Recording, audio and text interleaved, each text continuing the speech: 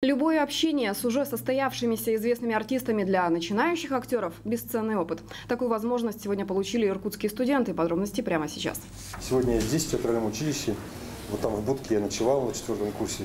С первых слов настроить аудиторию на свой лад – талант настоящего артиста. Наш земляк Владимир Капустин как раз из таких. Один из героев популярных сериалов «Штрафбат», «Завещание Ленина», кинохита «Аритмия» приехал в Иркутск. Лекция в театральном училище носит прикладной характер, ведь главное, чем может поделиться артист с будущим артистом – опытом. Многие из вас попытаются счастье еще в Москве.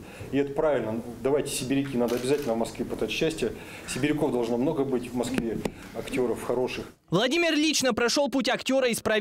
Уроженец Ангарска переехал в Москву в середине 90-х, но связи с родным краем заслуженный артист России не потерял. Хотя уже, конечно, в Москве уже давно живу, больше, чем в Сибири.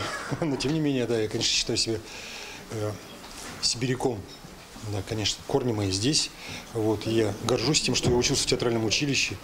Вот. И это когда, я, вы знаете, думаю, даже это как-то влияет все-таки на судьбу, то, что вот именно сибиряк. Ну, по крайней мере, в институте я помню, что это всегда было престижно. В Иркутск Владимир приехал не только, чтобы поддержать будущих коллег по цеху. Завтра стартуют съемки короткометражного художественного фильма. С ним в главной роли. У картины с рабочим названием «О нашей маме мы можем говорить без конца» есть все шансы стать важной главой в истории регионального кино. Был у нас Dreamcast. Dreamcast – это список актеров, которые наиболее подходящие для, по типажу для там, главной роли.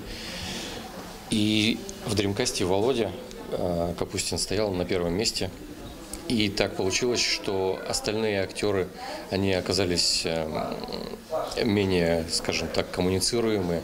Когда обратились к Володе, он сразу начал легкое общение. Легким общением запомнится и студентам встреча с известным артистом. А от количества вопросов были сорваны все временные лимиты. Что еще раз подтверждает, искусство в Сибири живет, а процветание – дело времени. Павел Желудев, Виталий Перетолчин, новости по будням.